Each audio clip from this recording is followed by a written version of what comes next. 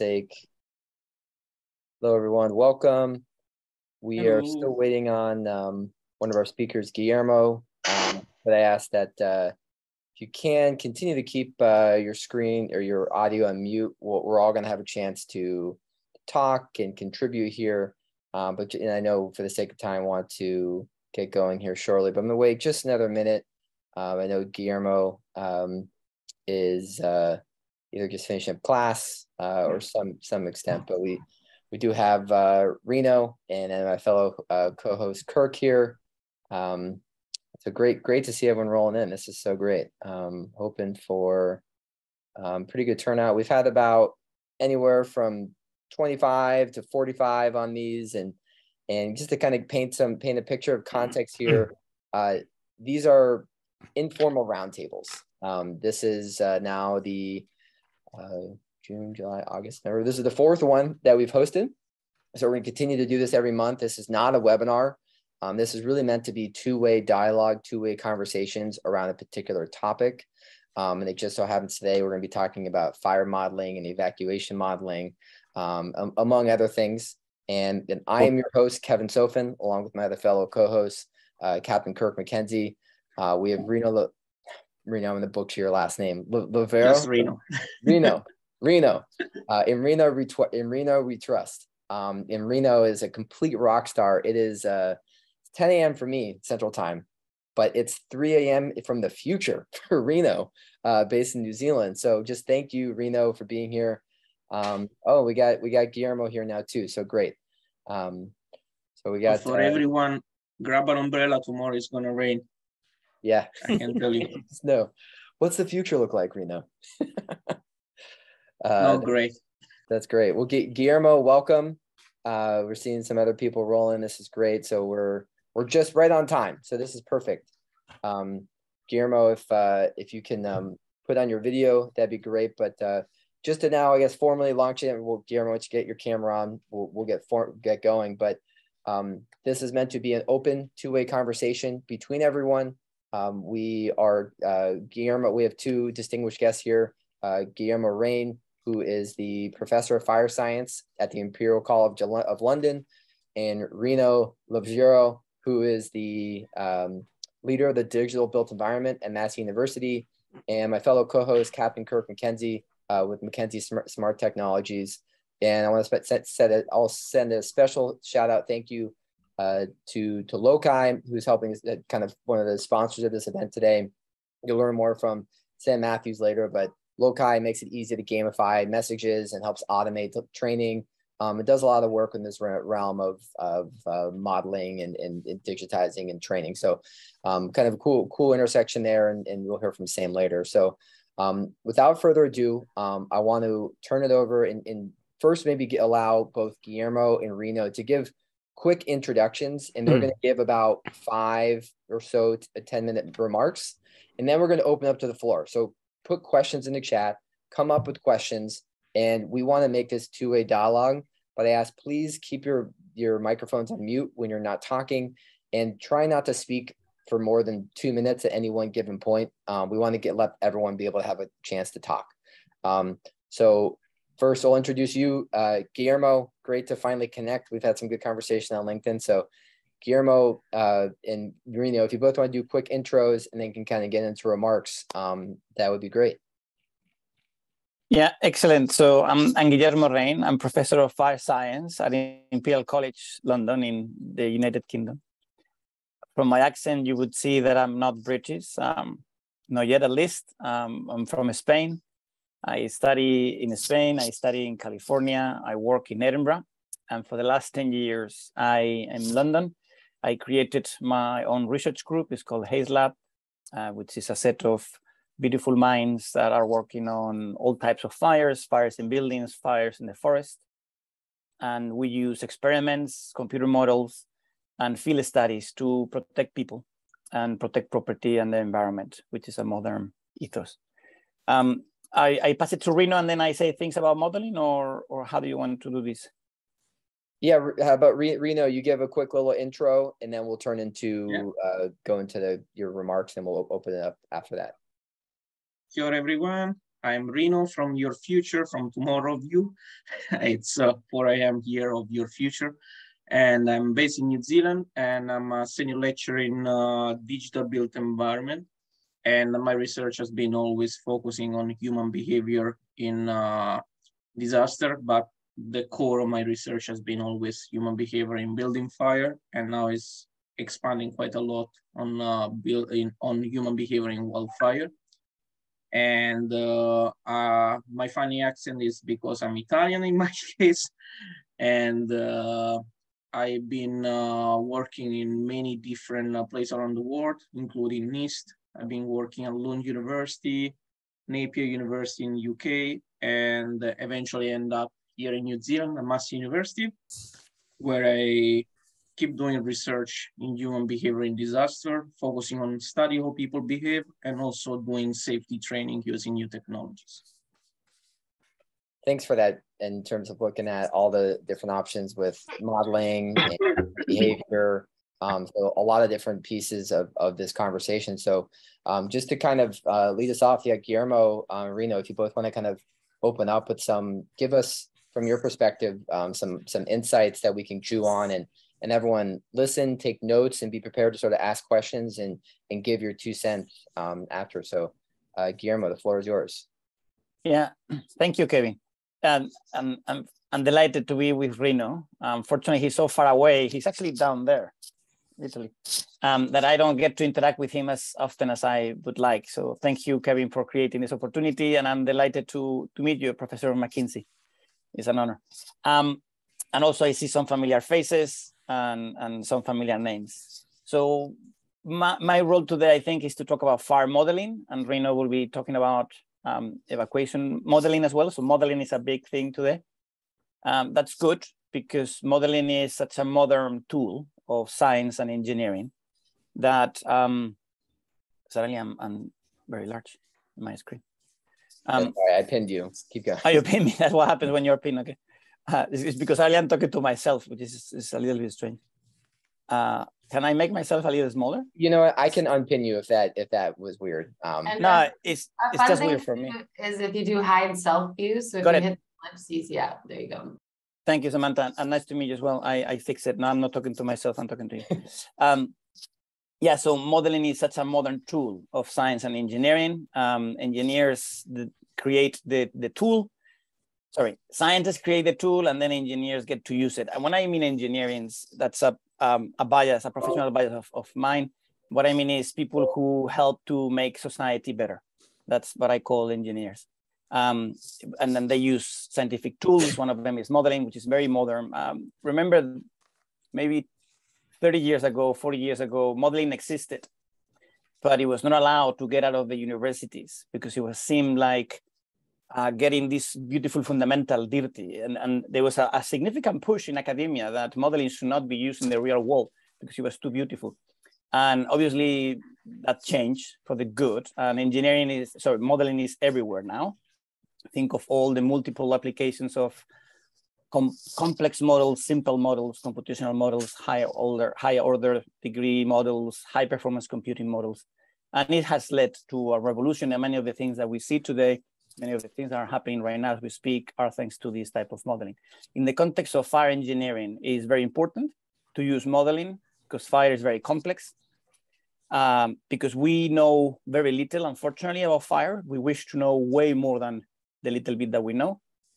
And because experiments, which is still the single most important source of information in fire science, experiments are expensive, are cumbersome, and they're coming too slowly compared to the ability, the wish that we have as a community to see more experiments. In this context, modeling becomes essential. Uh, modeling cannot go ahead of experiments, unfortunately, but that's fine. Um, it's always lagging behind um, that on purpose because models get their accuracy, their validation, their validity and credibility from the experiments. Uh, but then with the models, you can augment the experiment. It's not that they just you can only replicate experiments is that you augment experiments, you, you integrate experiments, you interpolate between experiments. And if done safely, engineers can also extrapolate from experiments. But that's a very dangerous endeavor. That's like exploration outside the solar system almost that you don't know what you're going to find. Um, but it's possible to do all these things with with with models to make um, to make up for the lack of experiments that we wish we have, and for different reasons we don't have. So fire modeling very important, very modern, and the future is very bright because this has just started. When I was um, when I when I graduated from engineering school, um, fire modeling in the hands of engineers was controversial. It was being done, but it was controversial. There was still a lot of people thinking that that was not a right tool for an engineer. Uh, fast forward now, 25 years, well, more than 25 years, 30 years, and, and no one will put that into doubt. Now the question is how it is used, not the fact that it's used or not. The question is how it is used. Is it used appropriately? Is used as a black box? Is used as colorful dynamics or not? Um, and that's where I would love to, to contribute in in, in how modeling can be used is the art of the science, right? Because the, the model is developed by scientists typically, or with a scientific approach, and then is put into the hands of society. And using the model has a lot of art. So it's the art of as a scientific tool. There is a lot of people that think that modeling is only scientists, but actually has a lot of art in it.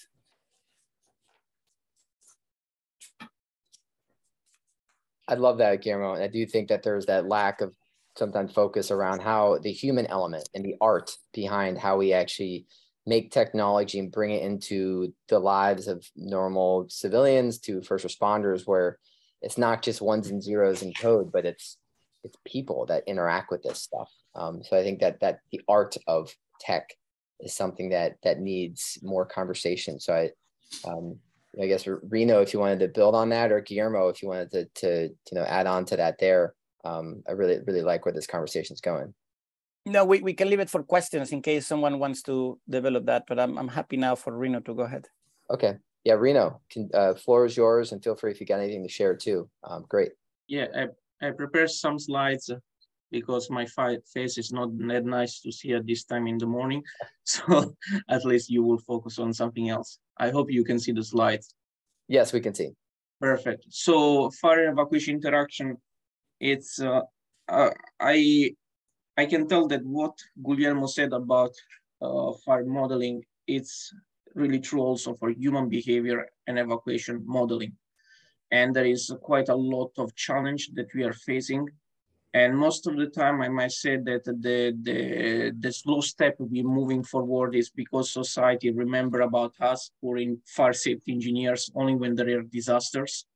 And we get this kind of uh, boosting of uh, funding and possibility to do stuff as we, we would like to do every year, only when there is a, a big nasty things happening the day before.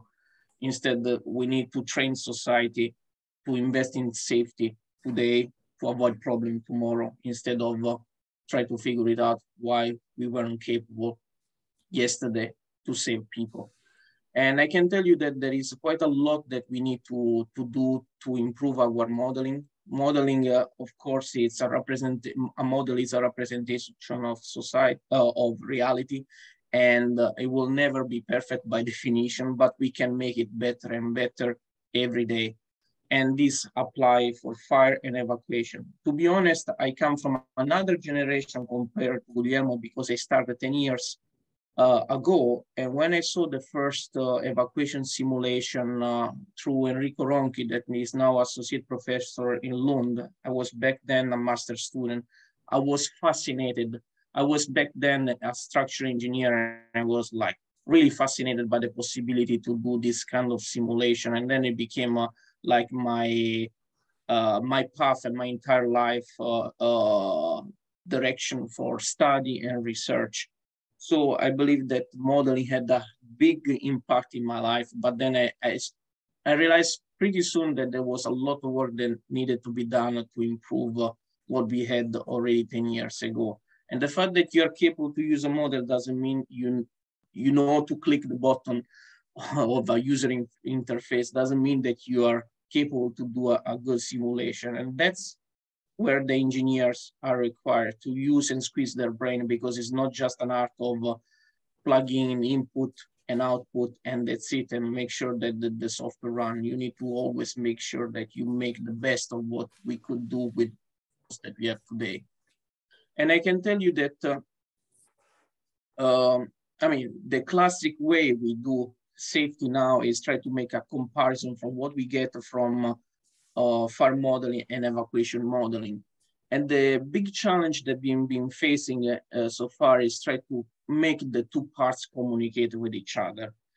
And I can tell you that we have been uh, doing uh, uh, some baby step on this direction on trying to figure it out of the fire uh, affect evacuee.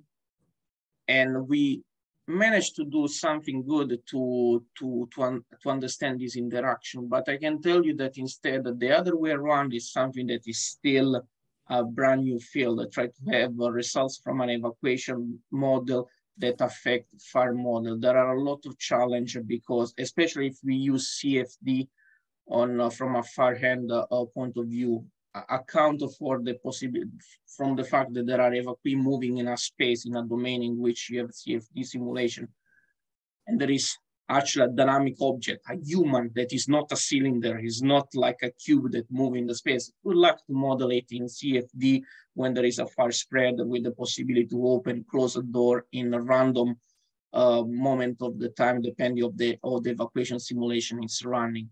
So there is quite a lot that needs to be done. And we have also uh, at this stage, uh, limited capability as a computational power if we consider the complexity of CFD uh, simulation. And uh, probably we will look in 10 years back and say, ah, now it's so easy because we have much more computational power and uh, it's running a CFD simulation is so easy that we don't need to wait 24 hours to just figure it out if we do if we did a right setup of a, of a simulation.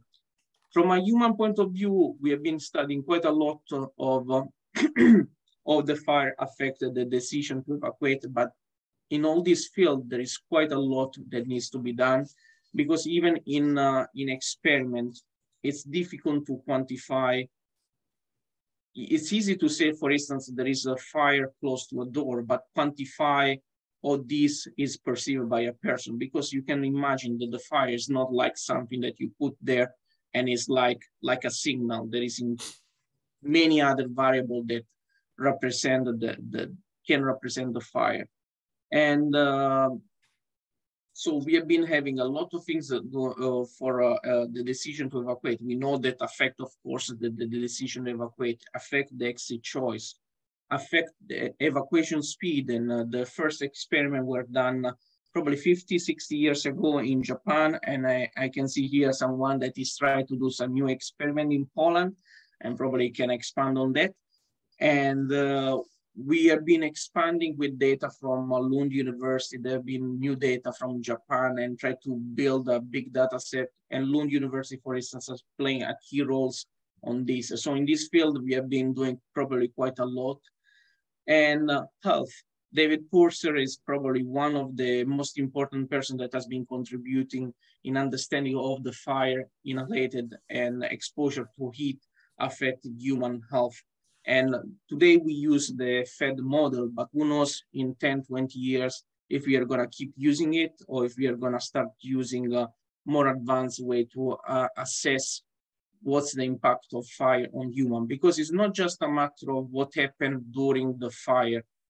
A lot of people might die after the fire because they get impact by inhalation of uh, toxic component after one, two months, or even after months? Are those people that die because of the fire, but they didn't die actually during in the building, but they die after month?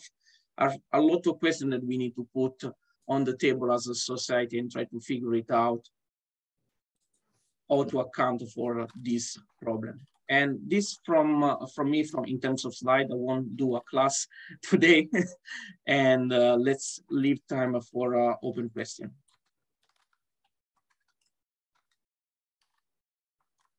Marino, Billy, Billy Freeman with the FirstNet Authority. I'm trying to stop sharing. Yeah, there you are. Hey, Billy, floor is yours. Thanks for, thanks for chiming in. Hey, um, have you have you expanded your modeling in this regard to multiple people? I'm a retired firefighter. Um, have you expanded the modeling to include um, a, a, parent and children? I've seen I've seen people do a lot of weird things when it comes to getting out of a fire. Um, one person is but have you expanded to it to multiple people? You know, I'm going to grab, try to grab my kids on the way out the door, that kind of thing. Have you thought about that? Does that make sense?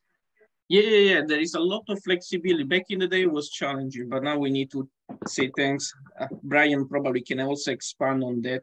We have Brian that is uh, uh, one of the key person behind Pathfinder. That is one of the most uh, uh, famous model and uh, I can tell you that now group evacuation is uh, much easier to be done because you can set up a way that uh, groups of people can evacuate together. And this is fundamental, for instance, in a situation like schools, in which the evacuation is not like the evacuation of individual. You have a teacher with a group of children and they need to evacuate by themselves. And this is definitely more uh, challenging and probably require much more time than uh, individual evacuating by themselves. It's something that we, we, we can do. And we need to also account always for affiliative theory. So we need always to link with the theory that says that humans tend to go with familiar people that can be a familiar person, can be someone from your uh, family or can be someone from your own working team or people that you're interacting in, uh, in a room. We have capability to do that. And uh, I hope people are accounting for that and not just uh, simulating people as a single individual when they do uh, those evacuation. For instance, in a tunnel, if you have people that evacuate from the same car, I might expect they will evacuate as a group. But I can tell you that in some software, it's almost impossible to allow that. In other software like Pathfinder now, it's pretty easy to allow for this kind of simulation. I appreciate that. That was a, that was a good answer. I, I'm a fanatic about about planning, fire escape planning. Um, it works in homes. It worked at the World Trade Center with Go. Uh, I think it was Goldman Sachs had their security chief was constantly training them to get out, and he saved literally thousands of lives because they had gone over that planning. So, modeling, in my mind, will show people here's how it can work and here's how it won't, because if you don't do it, it won't work. We, we can definitely use as a training, but to be honest, I haven't seen it, unfortunately, much used for training. Uh, uh, here, at least I don't know if in US, the probably Brian can tell us if someone is reaching out him and they are purchasing Pathfinder uh, to for a planning point of view and show people, look, if you don't follow this, uh, the instruction that we give you do, during drill, look at the mess that you're gonna create in the building.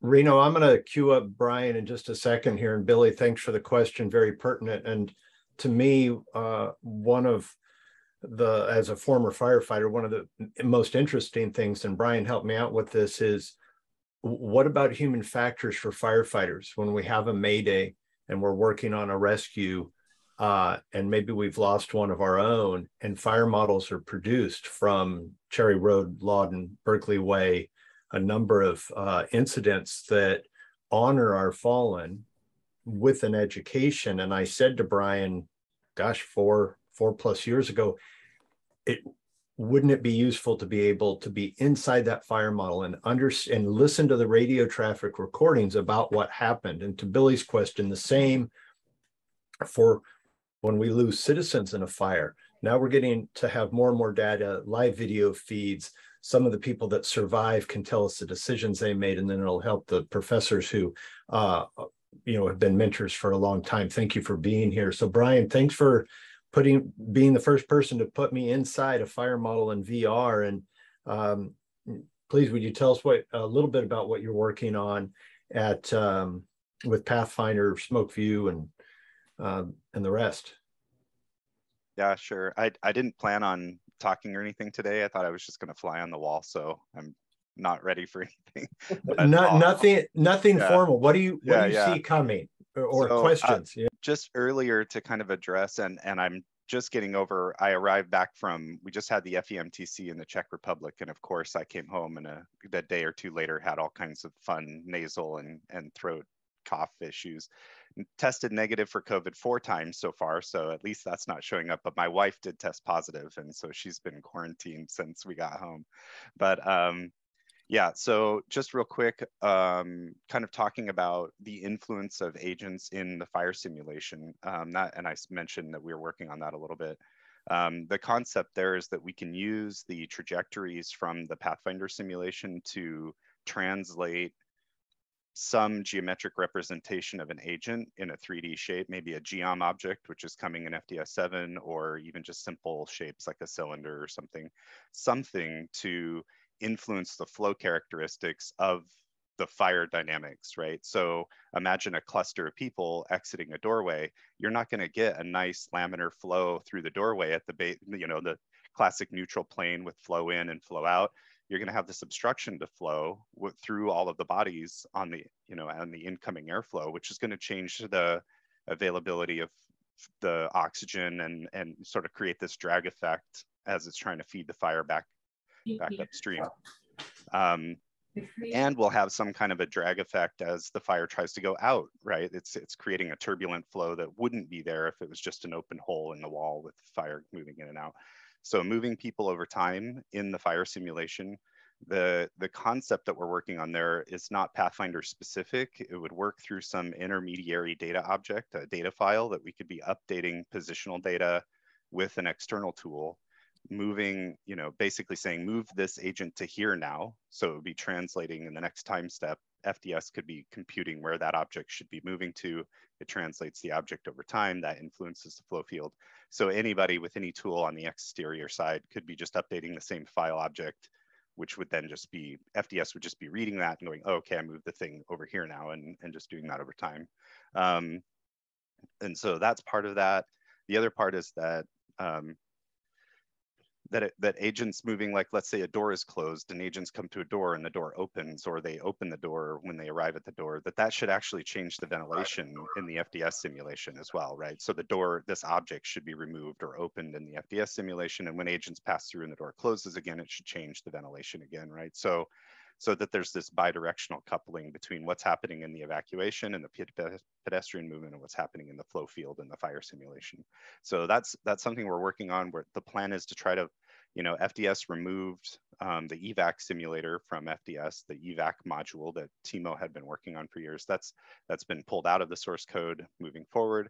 So now there's not an integrated evacuation simulation or pedestrian movement tool in FDS. So what we want to do is try to create, okay, we just need some kind of almost an API or this intermediary layer where we can control states of things, where we can control pedestrian object or objects in their position over time with this data format.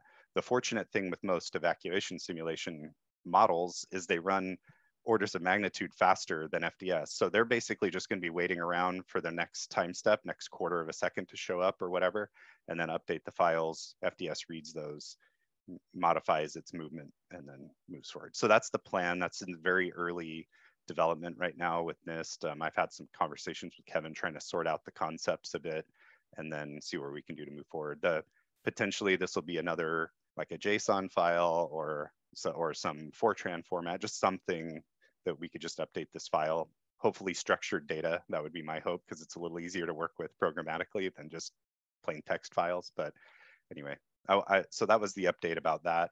There's nothing yet. Unfortunately, I don't have a doc or anything. It's like super early in the planning, um, but that will start showing up in the FDS project and probably some beta testing and things in Pathfinder as we move forward. Um, and then the other question, I think, with just, you know, we do have grouping. That's a that's a capability. Um, there's also um, refuge rooms for the shelters of last resort. There's a refuge capability in Pathfinder. So there are some of these capabilities people have asked about that are that are available in the tooling. And and we're always trying to add new capabilities based on what somebody needs. So if you're like hey your model doesn't account for this like please let us know so we can start working on making that be a thing. Um, and i think does that cover it so far? Yeah the moving you objects. said you said you didn't pre prepare for today. Seem pretty prepared. yeah, this is just on my head i just have this crap in my head all the time Yeah. That's what I get for doing this for 20 years. It's like it just sits there and you're, it's always you're in the weeds, man. I appreciate that. Um, yeah, and then there was about FDS moving objects. That's been a thing in the past. I, I don't, I don't know, probably 10 years ago, I had a little demo of a fastball moving through gas or whatever in FDS. Um, they pulled that capability out. They're kind of going back to basics, creating these new geom records, which are non-structured objects within the structured computational grid. So, and we, we support that already in PyroSim, being able to write geoms for objects, um, but it's really just a pre-feature for, for FDS 7. Um, and I think I think that covers it. Yeah. So, uh, Guillermo, did you? I was curious if, if, based on what Brian said, if you had any kind of comments you wanted to maybe relay back to that, and I wanted to, you know, kind of turn it op open to the rest of the people in in the the group to you know continue to sort of ask away questions and give their two cents on this conversation. I, I wanted to react to the um, uh, implications of being able to simulate an event that is happening in real time. Uh, the example I think it was Captain McKenzie was mentioning that is uh, firefighter has got trapped inside and, and obviously you know, that steps up the emergency response. Um, so we would like to use modeling in those situations and in any fire engineering situation in real time. So fire and rescue. This is something that is called forecasting fire dynamics, the same way as the weather was forecast three days ago. And in some of the locations where you are today, the forecast was accurate. And some other locations where you are and I am, the forecast was not accurate. Um, so forecasting fire dynamics is, is to say how the fire is gonna move, the fire and the smoke ahead of time in a way that the fire responders, the emergency responders can use to inform the decision making. Um, typically it's not a, it's a, if, if and when this becomes available, this is an additional layer of intel that the fire brigades could decide to use or not, depending on the level of accuracy and, and the ability for, for them to, to receive another channel of information because I've not, I've never firefight, I'm not a firefighter, but I know they, it's a stressful situation and they already receive a lot of information. So this could be an additional one for them to decide.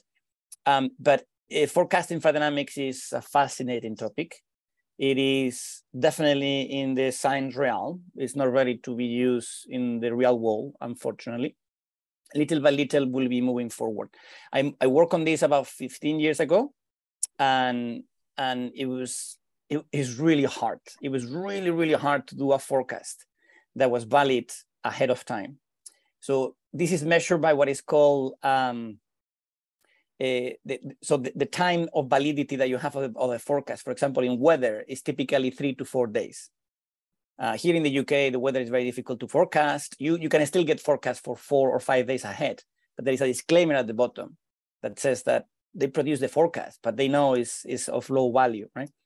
So the same with fire forecasting. You you want to forecast several minutes ahead.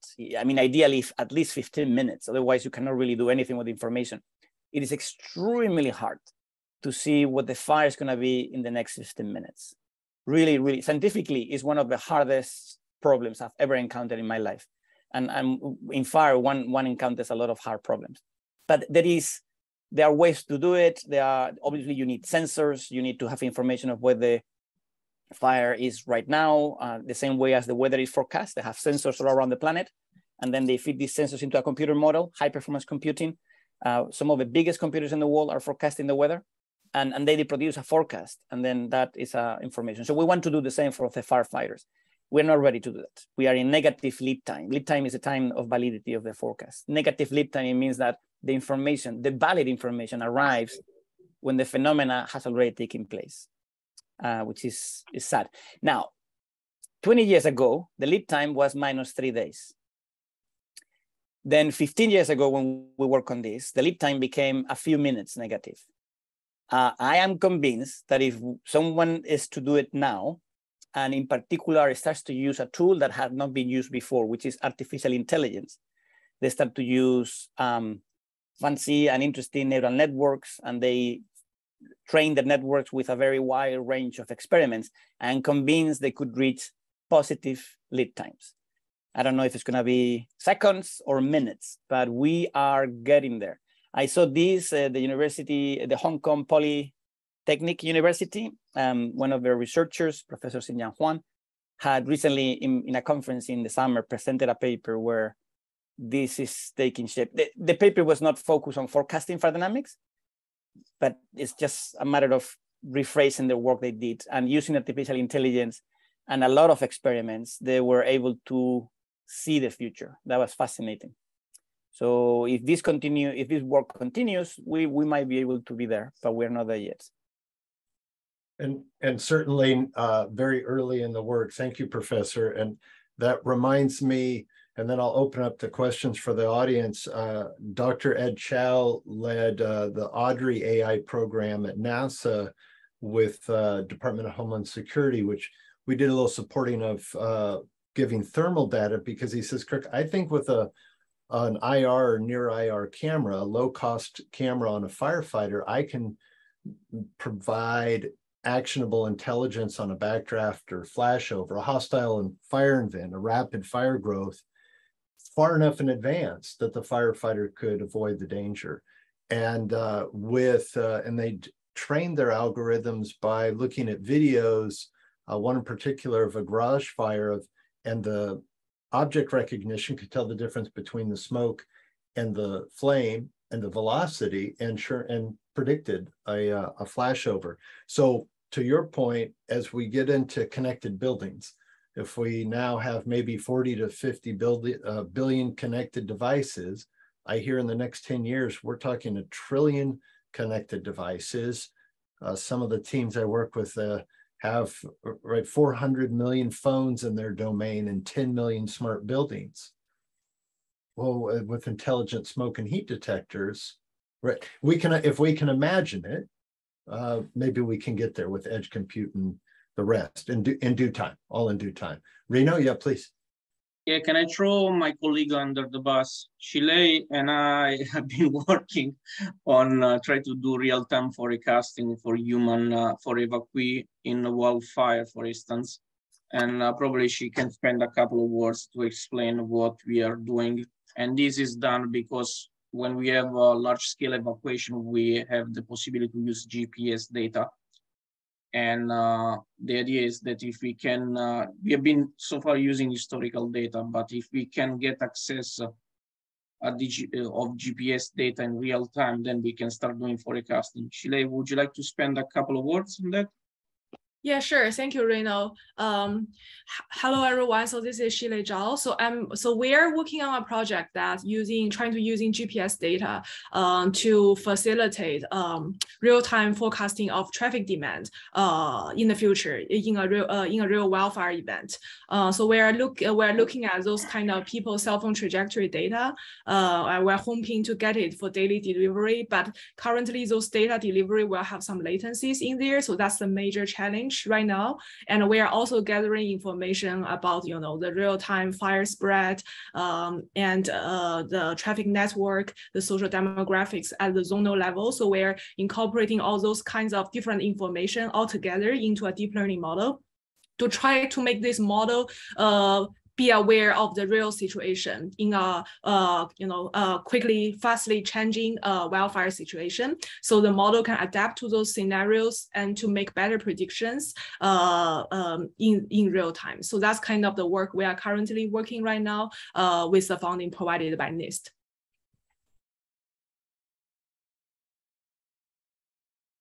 Thank you, Chile. Uh, and who, who else from from the audience who has been holding their tongue with a question or statement? Yeah, and I, would love to. Uh, I know Sam. Sam is here, and I want to let um, you know Sam from Loci. Uh, see, is, is there a hand up somewhere? Maybe. Uh, uh, yes. Oh, we'll check. We'll check. Yeah, we'll check. Uh, hey, hey. Uh, my my fellow podcaster friend. Hey, bro. Love, and you got a great setup, by the way. It looks good. Um, Thank you. I'd love to hear some of your thoughts and two cents on uh, everything you've been hearing so far. Yeah, yeah. Uh, actually, I have a challenging questions to, to Professor Rein and Professor Lovreglio. I mean, th- there's a lot of development in the field of modeling, how a lot of interesting, sexy technologies being in, introduced every year. You see them on conferences. They're beautiful uh, I don't know response in re response surface from Ghent from a few years ago. I thought that's going to be a hit, predicting outcome of uh, any scenario in the building from a certain number of of um, of fire simulations, but many many progress. And yet I go to the office and I do my mm-hmm. modeling mm-hmm. same way I did it 12 years ago. Like literally, I I can use a little denser mesh because my computer is a bit faster, but I do it the same way, like the same the same way I've done it the first day of my job. And I, I wonder, like how hard or where are we failing in moving these technologies from the realm of of uh, science and and fun into realm of, of reality you know because in the end i may have a most sophisticated modeling approach in the history of mankind but i'm going to lose the contract to the student who just download that fds and will do it for 50 pounds an hour. And uh, that, that's a brutal reality for fire engineers out there. So i wonder how how can we do anything to, to like promote this uh, growth you know to to somehow disturb the the state of the engineering at this moment? Cheers. Can i can i react to that? Thank you uh what Boje is describing is deja vu uh, uh, I, I, I subscribe what he has said it really feels that we continue doing not just him or I, it's just we as a collective community feels a lot like we are doing the same for the last many decades.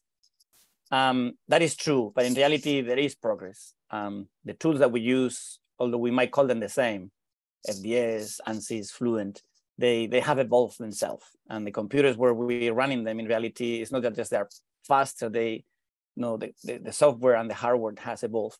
But fire engineering maybe has not evolved that much. One of the reasons for that which is something that I've been thinking for a very long time and I still not reached a conclusion, but I'm reaching convergence towards the problem of fragmentation.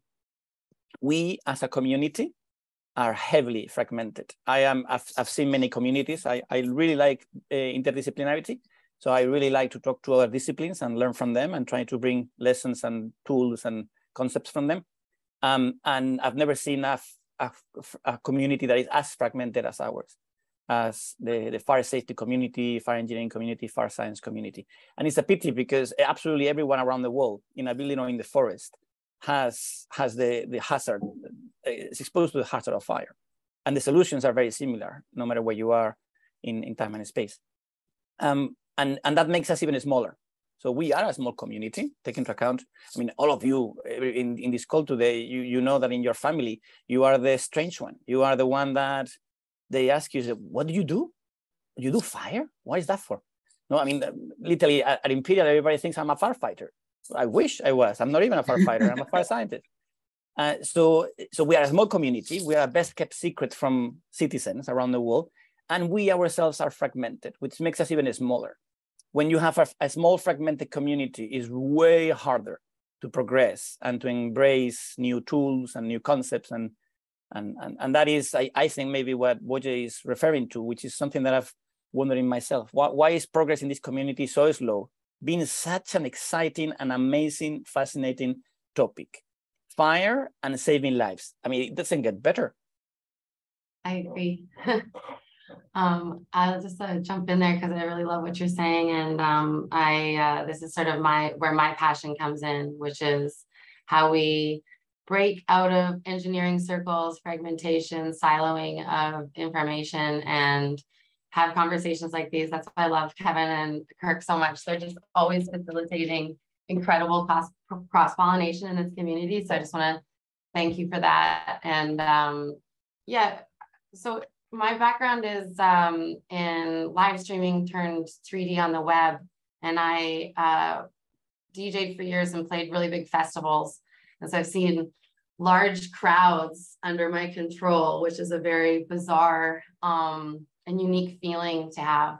Um, and so I became kind of interested in uh, crowds, obviously, from that perspective. But then um, when I started working in 3D, specifically in uh, 3D scanning of environments and hosting them on uh, web servers so that we could plan um, a festival or plan a film shoot uh, virtually in a 3D environment together with assets that we pull in and save a bunch of money on travel and hotels and things like that. So that's how it started. And then um, I was using Oasys multi-agent system um, that's generally used for uh, pedestrian planning. Um, but I had adapted it because it was really easy to change the agents to say, hey, this person is drinking, this person likes deadmau5, and I could set them all loose into a festival um, and see where they're going to go, where there's going to be lineups and stuff. Now, I, the, the fact that like um, festivals don't use this now to this day like blows my mind, especially with crowd crushes. Um, but this is where the idea for exit test came. I saw that we were able to put a bunch of agents into a scene and that you could visualize the exits. And for me, um, I'm big on the neuroscience of memory, and I know that place is the strongest, uh, loudest cells that fire in memories. And so, um, in order to create that path memory that's going to be resistant to the panic of and and the sort of social dynamics of a crowd, you need to have something that's you know triggered in your hippocampus, um, in your limbic brain, and that comes from visualizing a route. And so I knew that if those agents are already going into the scene, it would be pretty easy to attach cameras to them and start to break that out into something that might actually touch the end user, the person, right? Um, so exit test is designed to reach end users. It's, it's designed to take this fire modeling, fire simulation out and put it into the hands of those who actually act, are responsible to actually train those people. Um, my goal in life is to uh, eliminate all evacuation signs from every building and structure on the planet um, and replace them with um, highly contextual fly-throughs from how to get out from that place. Um, and to build preventative training um, that actually meets people where they are, which is the fact that we have these ancient brains that don't read flat maps well, um, and that we've sort of lost our uh, agency to, or sort of ability to do that as we've become more reliant on GPS. And so I guess to sort of answer the like, who's breaking this out, I'd like to say I'm trying to break this out of this scene because I think what's beautiful about modeling is that you're basing it off of real people and, and people learn best by simulation. So it's not a difficult thing once you have that complex environment built. I think the biggest challenges and my biggest frustration is seeing how many people are duplicating their efforts. Like you have the BIM and the architects modeling the building and then the fire safety can people are like i'll model the building too and then other people will model the building and then somebody comes in and makes a map of it and it's like why um, so i think to your point it's really important that we have these conversations but also that um, we don't forget who this is for at the very very end of it all um, we're ultimately trying to save people's lives and we can kind of forget that we are people too. Like we as engineers tend to treat people like these complex, stupid problems. And like, but it's like, no, no, no. If you put yourself into your own person, you're like, no, what would I do in this situation? And so um, I'm really hoping that by understanding that, man, if somebody just showed me this fly through or showed me what these engineers see, I wouldn't have such a hard time. Um, and that, yeah, so that's, that's what Loci is doing. And so I'm, i really encourage anybody who is in the modeling space, if you want to work with me to turn your, your modeling into training for whoever's going to use that place, please reach out to me. That's what we do. Sam, I, I want to say thanks for your brilliance. Uh, every time I talk to you, I keep uh, getting the impression you know a lot more than I had imagined. And uh, so to you, um, and uh, uh, Reno and Professor Rein, uh, the the question to me is an, at scale. As you say, you have BIM, building information modeling, and we have CFDs, computational fluid dynamic models in the lab. How do we get it out into the space? And one of the things that's coming up to me for me as we as we build out, and I'll ask the professors to answer this for me, as we build out platforms to escape harm, I like the term 911 go. Everyone should be enabled, whether it's fire, active shooter, earthquake, flood, natural disaster, whatever it is, we should be able to escape harm in mixed reality just by pointing our phone and knowing where the exit pathways are and maybe where the hazards are if we have real-time IoT feed. One of my questions is, what do we do with open source photos to make a giant NERF for the whole world to help with modeling and exit pathways? Has could somebody tell the audience because I barely understand professors what what is NERF and how do we and get there? You want to give your hot take on that, and then we'll we'll let Guillermo go. Yeah, I was just gonna say, like, I mean, as there was somebody from I saw somebody from Esri here. I think like the the toughest thing, like we right now we're rebuilding, we rebuild the earth from open like Google data, I can, um, if you want to see just an example of what it looks like um, with open source, um, no, no sort of streaming data. Um, I can pull that up here for you one second. Um, and then the the key thing is is that what if I'm we not, I'm not start seeing your better. Pardon? Oh yes, sorry. Um, I'll just pull it up here. Where did it go? Data Studio. Um, so we're this is an example of um Perfect. I see, uh, I see Oh. this. There we go. Um, so this is an example of the, oh, here, I actually have to open up this thing. Sorry, I have to share my other screen. Here we go. Um, so we pull in about ten square kilometers just from Google Earth. And then we drop agents in, um, that have cameras attached to them. This is to help truck drivers arrive to a, a ferry terminal where there's a high powered gas line with no turnaround. So if they miss their corner, causes kind of an issue. Um, and, and so this is just an example of like using simulation, but uh, having cameras attached to those agents in the scene. Um, so I think, you know, you can see that from here, like it's, it looks like it would on Google Earth. I think the main thing is you don't need to make everything super perfect, but to Kirk's point, you need, we, we have the ability to create um, a shared context and, and work from that um, and sort of add our models or add our other things into that. I think I was really encouraging to hear Homeland Security um, a couple weeks ago. They've been working on the active shooter thing in Texas with some of my partners and they're um, really turning towards game engines and not mapping individuals or all these different platforms that have proprietary data, but saying like, okay, we see that there's a whole bunch of layers of proprietary data. We know Esri has a whole bunch of ecological data. We know NASA has a whole bunch of weather data. And we actually like the only place that we can pull this all together is in a game engine. And so I think that's the sort of like will be the place we all meet is like luckily we have these AAA game engines like Unreal and things like that that can handle the physics and all the science that people like Guillermo and Reno create. Um, and so I think the the turning point will be when large institutions start to realize that they need their own game engine environments if they actually want to analyze all this data.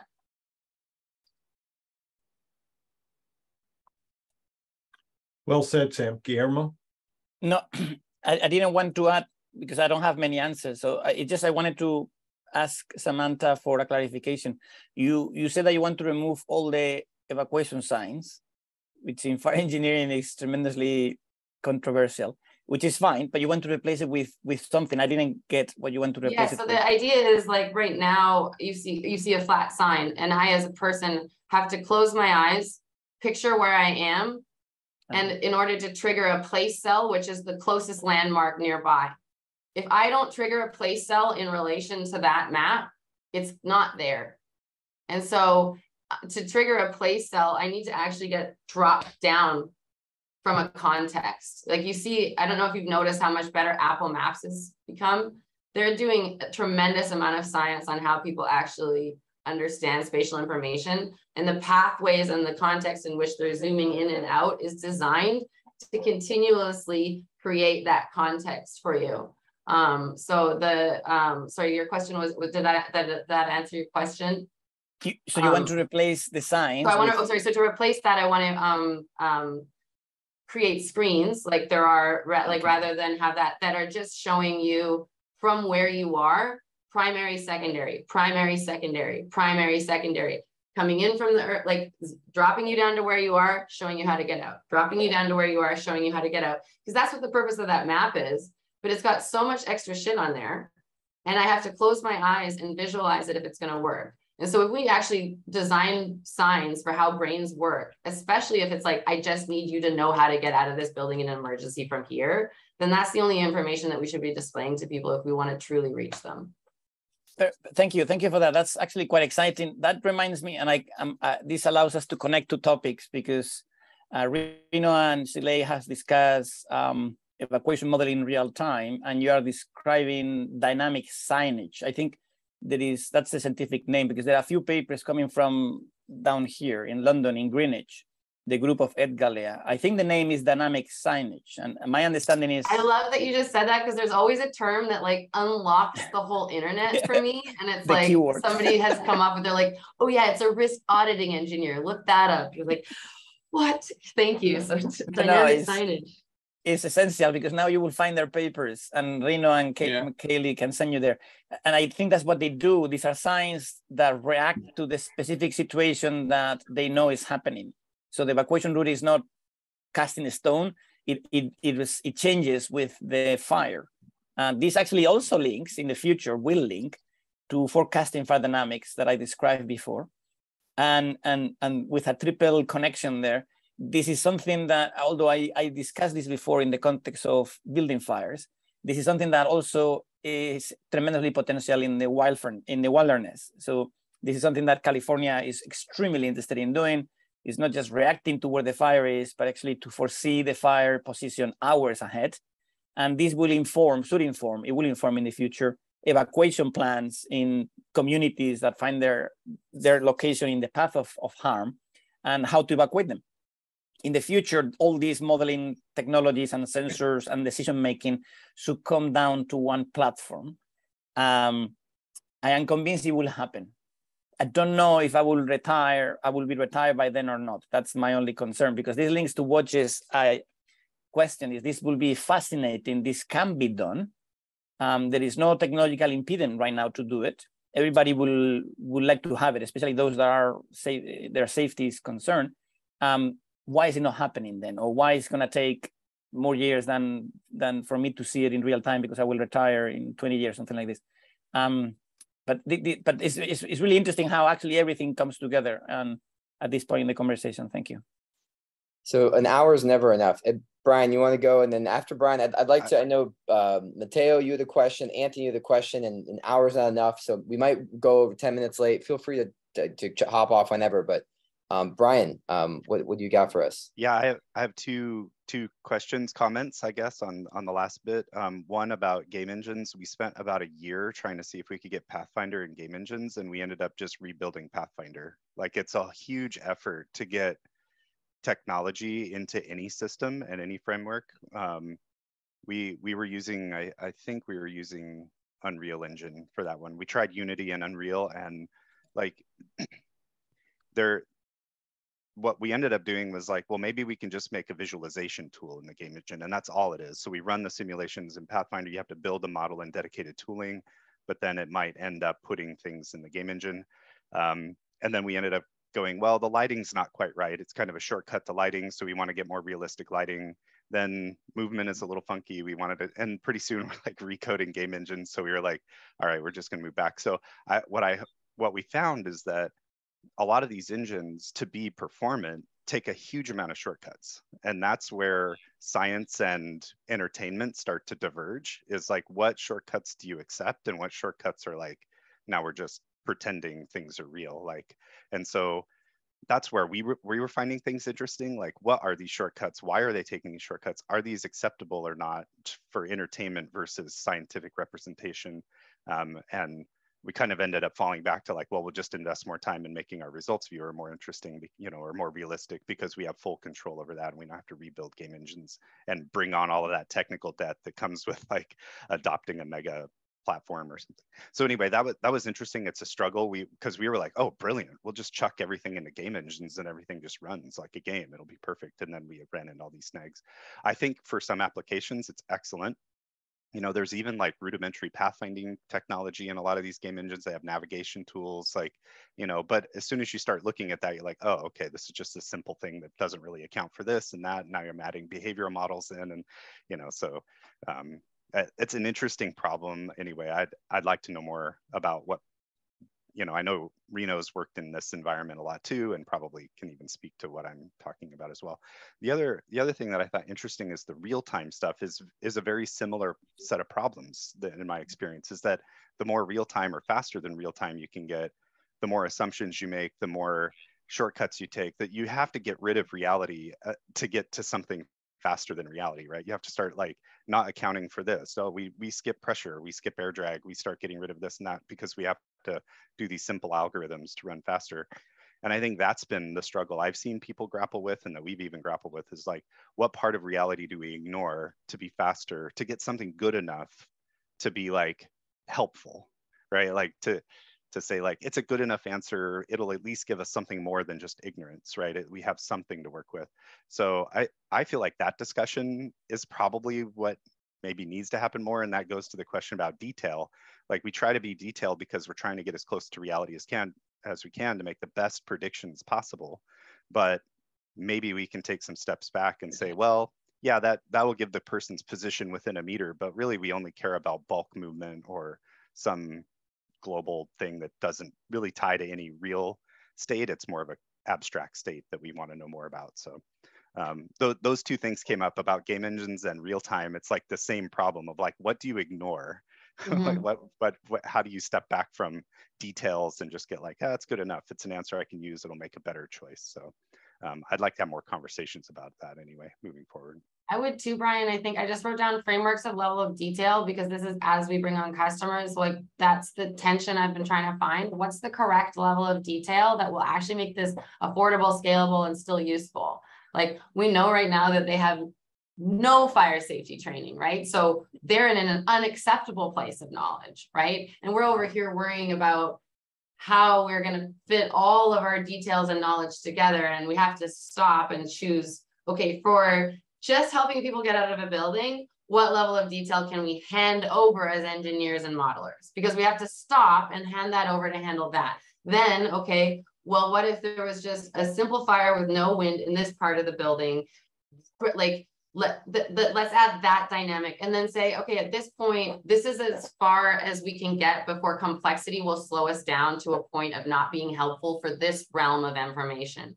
And then we can kind of choose, okay, but I think this is where we fall down. I see it in every realm of engineering, like people trying to solve all the financial problems of the world and they're going off and trying to build a completely new system from scratch with no flaws, right? It's like we forget that like we still have to fit this into the real world. It's going to have to fit into a plug at some point in the process, right? And so that the, the I think we're as engineers in this group, because I think we're a passionate group, we can decide who needs what level of detail in terms of a role directory of people outside, like occupants, like a guest to an employee, to a contractor, to somebody who's in charge, to somebody who's responsible, right? And then say, what level of engineering detail could I be starting to provide that group with um, that we're going to be fine not getting into the weeds with him. Like we agree as scientists and engineers that this is the this is where we're at for where they are because I yeah. think what happens is we keep trying to model the whole world and everything to solve everything. This is the complexity yeah. gets and, the best of everybody. And, and and to point to that, like uh, Nazim Yaku, uh, he did some work with developing a Revit Revit add-in that will like take Revit data. Um, you can prescribe like occupant densities and room characteristics and profiles and things that will then generate a model in Pathfinder like as an import process. So it generates everything for you from the BIM. And then the output of the Pathfinder simulation goes back in and is stored back in the BIM model, but it's not the entire simulation. It's only the data that's relevant to exit you know movement and flows through doors and things like that and and so we've like distilled down the critical information that needs to be stored in the BIM model and and you could go back and look at the full detail if you needed to with the pathfinder model but you don't need all of that and i think that speaks to like what you're saying like what's the essential bits? Let's get that back in like the source of truth and then mm. move move it forward through the process so um, i'll i'll post a link to his talk and we'll have a video coming up soon on all of these but anyway that's that's great. I totally i like that concept of like scaling and detail here so I know I know we're over time, um, and I know uh, Dr. Dr. Rein needs to leave soon, but I, I saw um, Mateo had asked a question, Anthony had asked a question. Um, um, but I think before that, I was wondering if anyone be interested in kind of doing like a group photo. Um, you know, I think maybe it sounds a little tacky, but just uh, but the, those that are here that are comfortable putting going off camera, you know, we're kind of using this to continue to grow the uh, grow everything. But if you're comfortable putting your putting your camera on, we'd love to see your beautiful faces. Love seeing it. Oh, everyone, you look wonderful. So I'm gonna take the photo and and uh on the count of three, one, two, three, biggest smile. Gotcha, Billy. Right at the last second. um, well, so um, so and, and Guillermo, if you have to go, please. Anyone has to go, but um, Mateo, you had asked a great question as well as Anthony, and I know we still have a little time, but um, Mateo, did you want to kind of maybe ask your question a little bit? Maybe you could get Guillermo to give a quick response and you can go. Um, and then Anthony as well, I want to give you a chance to ask a question too. yeah, mainly my question, I don't know indeed if Guillermo is doing any research about it, is okay, we are going a lot with more detail, and I think that's right uh, for many problems, but often, yeah, there is a lot of uncertainty on the input parameters we use. So, for example, yeah. I think it's great to have the possibility to have moving people that might block or might change the stream of flow through a door, but how reliable it is. I mean, uh, I bring a personal example. We do, I do a lot of tunnels and often the main assumption is people will leave. But I have footage of tunnels where there are people standing in front of a burning car that they hear the alarm and you don't you see they don't move. And the person that actually did the video is in a car as well, taking a video instead of evacuating. So I think here we are really going in detail on the on the modeling side, but sometimes we're sometimes missing by far some behaviors that are completely irrational or they are irrational for us as a fire safety engineers or experts or professional who work with it every day but yeah we sorry my son is playing a bit. Uh, but yeah we are missing out some bold errors somewhere else in other areas. Uh, and i know from experience that sometimes it's hard to discuss this with firefighters for example because they don't really like the concept of okay we have a distribution of behaviors and we are going to accept that x amount of person will die or that we will not manage oh. to save them. So i think this is it's a pandora base so once you open it you have to discuss a million of things so everyone is much happier if you say okay we take this fire size we take this uh, a set we take this asset everyone is out alive but sometimes i think there is uh, yeah uh, a bit of. I, uh, I, I know I know Brian. I already mentioned also in my comment that I already use the feature of randomization for the behavior, and also I use the the the input uh, the scripted input from Pathfinder, and I ran a lot of simulation. So, but the problem was also to, yeah, how to convince later the authorities to say, okay, we have X amount of fatalities that we cannot avoid. And I don't know if there is any active research on it because I think it's very complex topic, but I don't know if yeah, engineers yeah. or it can be solved only by consultants. Sorry, Sorry if, I can say something quickly before I leave. Very very nice to see you, Mateo. Last time I saw you, it was five years ago in Warsaw or more. I, I didn't recognize you actually.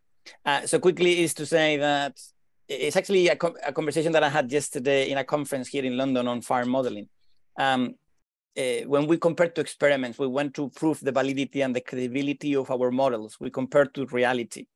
And this is how we convince the authorities, our friends, our colleagues about the goodness of the model. But then as engineers, we don't have to simulate reality. That's no one has asked us to simulate reality. They ask us to use the model to design safety. Uh, and that's different because then we come out with, we have to design a scenario. We have to agree on, on, a, on a hazard that we want to avoid and, and then, for example, we can see how people do this with hurricanes. They, they don't simulate against every single hurricane possible on the planet. They simulate against the one in, what is it, in 10,000 years hurricane, right? Or they do this in, in marine uh, industry as well. So in fire, uh, Mateo, I think you're referring to this. We cannot protect every single piece of infrastructure against every possible fire. We just have to make it safe to the fires, the, the authorities and the, the engineering team thinks that is the reasonable protection that is required. Um, this goes into the field of risk, which is probability times consequences, and asking the authorities to accept that at some point some people will die in the infrastructure is a very hard conversation uh, that I am very lucky to say that I don't have to have. Um, but it's true that people that accept risk, they they they cannot assure 100% safety. They just have to assume safety at a high probability level and, and assume that sometimes things go, will go wrong. But that's actually a very modern approach as well. Um, risk, risk acceptance, risk uh, performance, and understanding safety as a, as a probability outcome, not as um, an assured outcome. Yeah, thanks for the explanation. Yeah, okay. my concern was sometimes we're missing the major part because we have a bias considering that we know what's going to happen, whereas the rest of the world doesn't know that there is a risk. Thanks, Guillermo uh, and Mateo. So I think uh, one, Anthony, I know you'd asked a question, and, and some people are, are, are trickling off. Um, and, and, thank you, Dr. Rein, so much for for your time, um, Professor Rein. Excuse me for just Guillermo. uh, Anthony, uh, you wanted to ask your question, um, and I think we still got some people here who can have powwow on that, and you know, always appreciate you uh, being here, Anthony. Yeah, no, of course. Um, so I was curious, we had touched on wildland a little earlier in the conversation there and was curious if there had been any work done on the inter, uh, intersection of actual fire spread modeling and really location of shelters of last resort. Uh, the reason behind the ask would be uh, oftentimes you know, campfire stands out in my mind, right, where we ask people to evacuate. Uh, and often we'll find burned up cars, bodies, dead, you know, people just die in the process, right? And so to that end, has there been any suitability modeling discussions? Um, around you know shelters of last resort is what I've called them, uh, what I've heard them called, but basically community shelters where if we do pull the trigger on evacuation, we can use some of the spread and modeling, uh, the predictive analysis to say, hey, we're not reversing four lanes of traffic. We're going to put folks into some sort of community shelter, that kind of thing.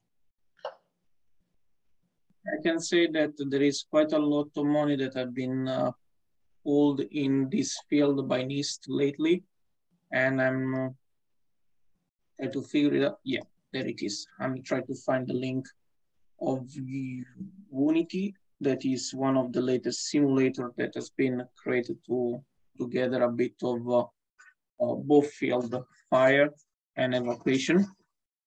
And uh, it's a project that was funded by by NIST and uh, if you wanna know more, you can uh, read the free report. You will see that there are different NFPA uh, reports, and there is. I just put the one. What was the paper that got published by by my colleagues, and Guglielmo is involved in that.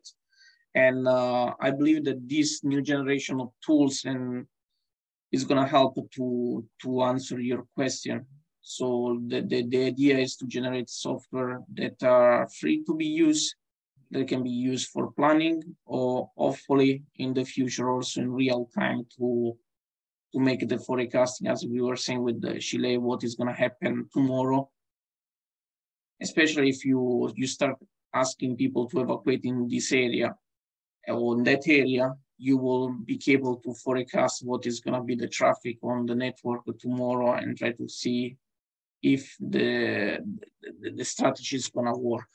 Or in terms of uh, locating of uh, safety point, sheltering, you can use this kind of tool. Probably uh, my, my, my, my personal perception is that we, we have done quite a lot on building fire. On wildfire, we are a bit uh, behind schedule compared to what we have been doing in, uh, in building fire. And that's why I guess many institutions like me start putting a lot of money in this because we are realizing that this is a key topic for uh, uh, for engineering is becoming more and more uh, uh, bigger need in society because we have seen that the, the number of wildfire becoming more and more higher year after year. And it seems that finally society is realizing that we need to, to do something about it. So that will be my starting point if you want to read more about modeling. And you can reach uh, uh, Dr. Uh, Dr. Yeah, he's still a doctor, Enrico Ronchi, sorry, he's still morning here. And uh, he can give you also more uh, an overview of what WUI-NITY looks like. Awesome, thank you. Kirk, did you, Kirk or Sam, do you want to add anything else on that?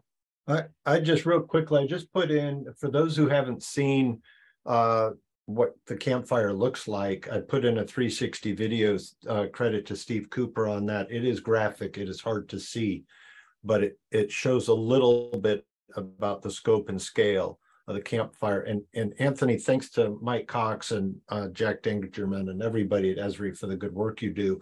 Certainly there's a lot of teams that are working at a scale that's commensurate to your big group on like we have location data of personnel during the emergency and they are they are searching for certain things on the internet and there is ai that's telling us what roadways are blocked while they're trying to exit the area.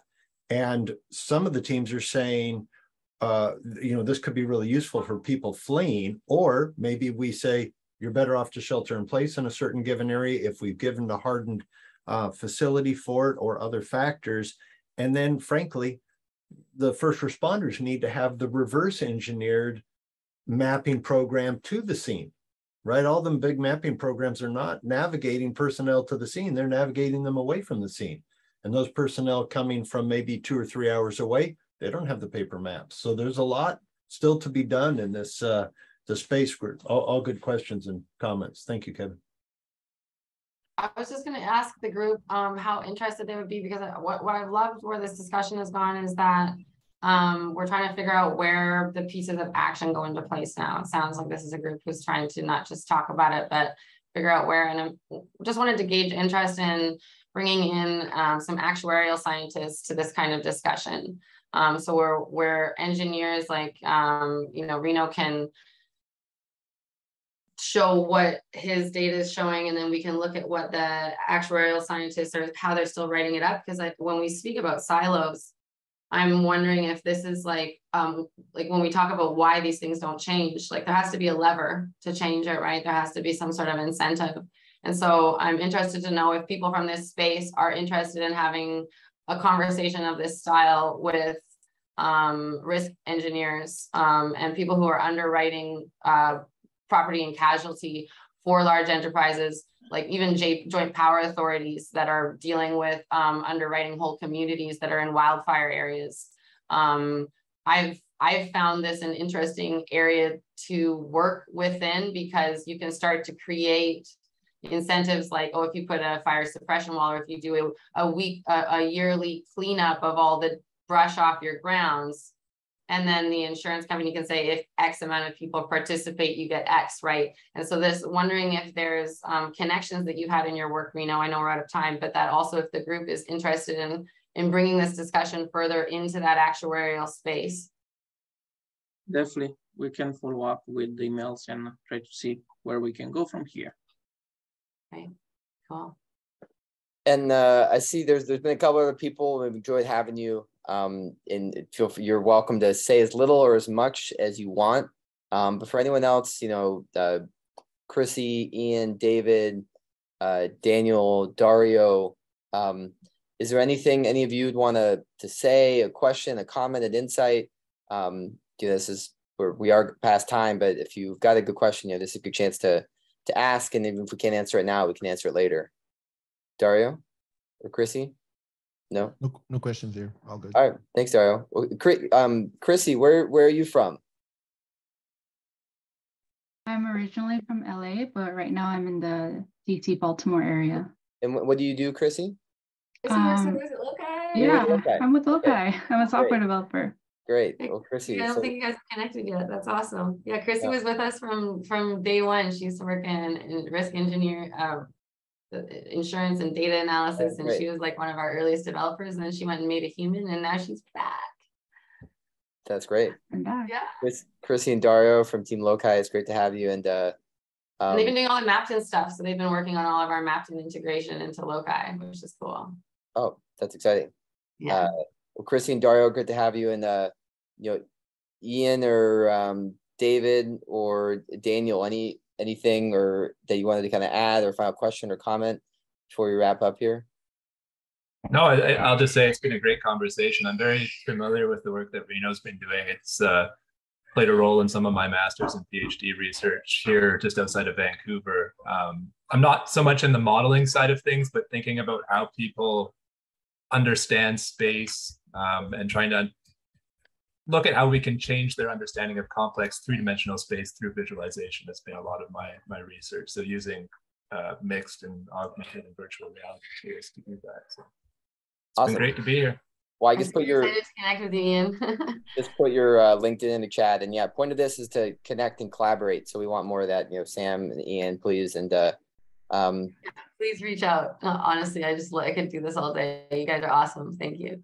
David, anything uh, appreciate always appreciate you joining in and listening. Any any kind of comment or question that you maybe had around this conversation that you wanted to finish us off with?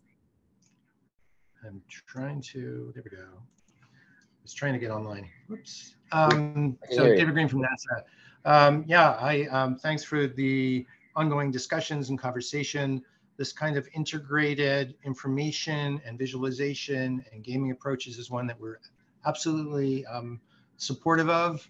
Um, new ways of understanding what the relative relationship is. I'm glad you got to the discussion of scale um, and trying to demonstrate what it really means to bring scale to an individual's kind of decision or the context, as Samantha was um, describing. So I uh, really like the way this is going. Um, also glad to um, engage in some follow-up here. We are trying to do some pilot projects, demonstrations, and collaborations to move this forward. As Anthony and our Esri uh, partners, we've created and support a kind of a collaborative um, a community of practice in this area. So uh, hopefully we can follow up. Thanks.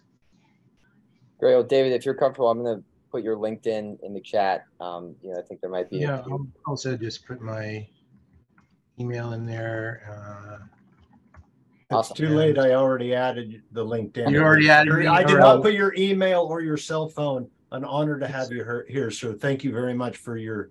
your I think I put work. too many E's in my name. Sorry, it's just green like the color. Um, okay. Take care, everyone. Thanks, David. Um, Thank you, sir. All right. Well, I think that that officially wraps it up on uh, on all things everything. But this was probably the most interactive, dynamic uh, roundtable we've had. Um, just the fourth one today. We'll continue to do one a month. Um, what will the next month be on? Actuarial science, creating leverage. Yeah, maybe maybe that next. Uh, thank thank you thank you Sam and Team Loci, uh, Wojciech, great to see you, Reno, Guillermo, Kirk, everyone um, this kind of community uh, of smart firefighting really uh, inspires me, fires me up. So um, we'll, you'll get a kind of a PDF report of what you heard in this chat, as well as the YouTube recording. Um, so continue to please share, engage, reach out, connect. That's the point of this. So um, thank you all. Uh, it's Wednesday, September 28th, 11:20 Central Time. I hope you all have an amazing rest of your Wednesday and Guillermo, or excuse me, Reno, great rest of your Thursday. Um, yeah. And uh, thank you all for your time today. Thank you, thank you guys. Bye-bye. It was fun. Thank you. Cheers. Everyone. Thank you. Thanks, Kevin. Thanks, everyone. See you, Billy. Bye. Bye.